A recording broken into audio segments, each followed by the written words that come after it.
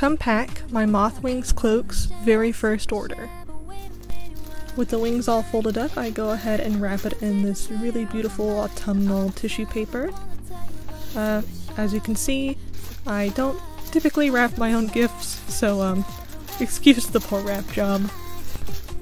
I go ahead and seal the wrap job with my own branded moth sticker for my Enchanted Moth Hollow brand before laying out all of the postcards, which includes a care instructions, social media post, and a handwritten thank you note. I also include a couple of freebie stickers right here, as well as your own moth sticker and a mini moth.